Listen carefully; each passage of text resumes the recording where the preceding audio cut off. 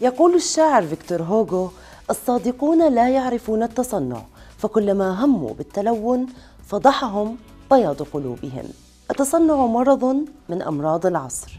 يحاول الناس أن يكونوا أكثر قبولا في المجتمع عن طريق تغيير طريقة كلامهم أو تفكيرهم أمام الملأ. وتكون محاولاتهم مثيرة للسخرية أمام من يعرفهم من قبل كأنك تشاهد مقطعا مسروقا من أحد الأفلام المشهورة يقوم بتأديته ممثل هاو ومبتذل.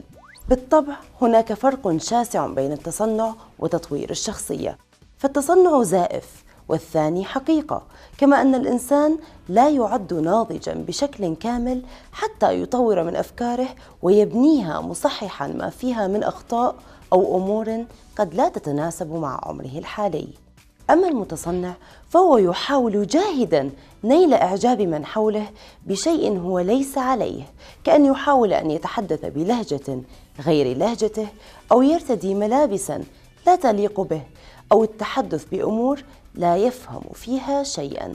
يظهر لنا المتصنعون في كل مكان كالجلسات العائلية والجامعات وأماكن العمل فتكتظ مواقع الإنترنت بالمتصنعين ومهووسو الشهرة.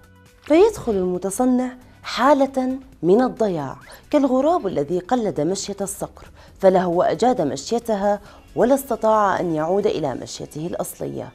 يفقد الإنسان نفسه بين الشخص الذي يحاول إظهاره أمام الناس ومن يخفيه بكل حرص بداخله حتى يصل إلى مرحلة هو نفسه لا يعرف من منهما الحقيقي فيضيع بينهما. البساطة والصدق هو ما نبحث عنه وليس التصنع. إن أحببت نفسك واحتضنتها بجميع جوانبها هنا فقط سترى وستعرف الأشخاص الذين يحبونك فعلاً.